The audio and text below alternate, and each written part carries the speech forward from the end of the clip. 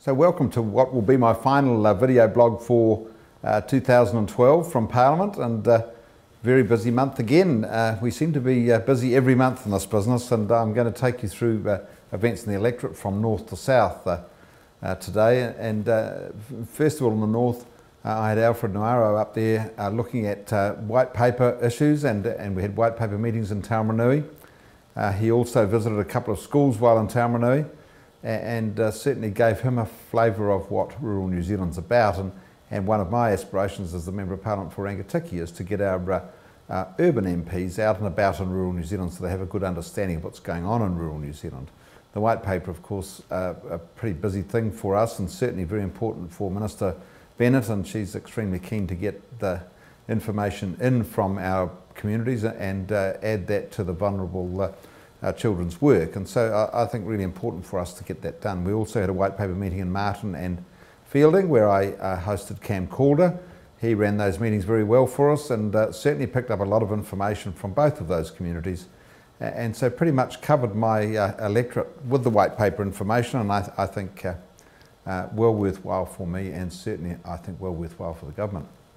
The er eruption of Tongariro continuing to blight us somewhat in the north and and certainly interferes with the tourist trade, which of course is by far the biggest uh, business in the national park, uh, um, Ohakune part of uh, my electorate, and and uh, back to not quite normal now, but certainly back in action again. And the Tongariro crossing partially opened.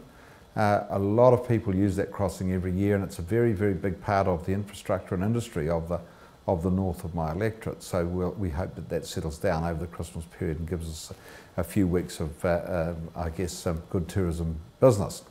Also, uh, a couple of weeks ago, Marton ran its annual market day.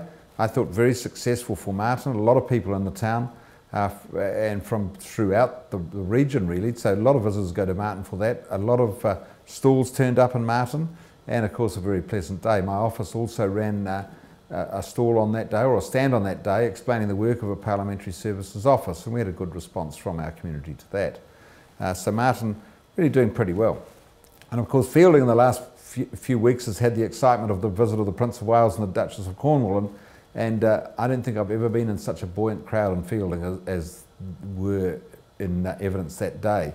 Was they were very excited, uh, had a great day, the weather was amazing and, and I think that the, the Prince of Wales and the Duchess got a, had a great uh, couple of hours in Feilding really and met an awful lot of people. I just couldn't believe the number of people they got round and, and met, talked to and uh, and uh, really everyone had a thoroughly enjoyable day. So that was a great time for Feilding.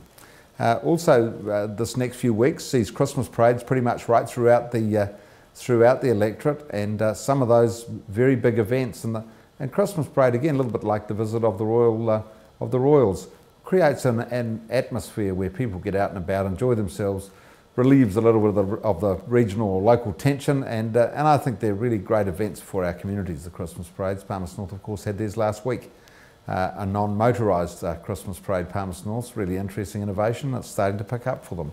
And of course, a large part of my electorate um, bounds on and is in Palmerston North. Uh, in recent weeks, the Labour Party have released their housing policy. Uh, housing for us in the Rangitikei is a big issue. Um, by a big issue, I mean th there are a lot of houses in the Rangitikei that aren't fully utilised, and so there is great opportunity for us, I think, to capitalise on on some of these issues. Uh, it's really our challenge is really to find work and create jobs in, in communities such as Taumarunui, Marton, Taihape, uh, Raetihi, and those areas. And if we can create the jobs there, we'll certainly have got the, the housing stock and the infrastructure to certainly boost New Zealand's housing numbers, and, and, of course our houses are a little cheaper than they are in uh, some other parts of New Zealand as well.